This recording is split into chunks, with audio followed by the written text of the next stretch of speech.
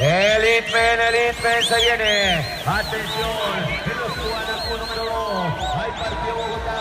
A la punta se le Carlito Ramírez. El corredor tiene posición. Bogotá se viene para la segunda. Es José Luis Chía. Aparece el corredor de Bogotá. En la tercera posición el de GW Chimano. Es el corredor Juan Pablo Arboleda. El que se viene clasificando para la tercera posición, para la cuarta. Aparece el corredor con el número 72. El Serrano, el corredor de Santander. Uy, se cayó el corredor de Santander Manco y pasa el corredor de Antioquia, el mellizo Restrepo.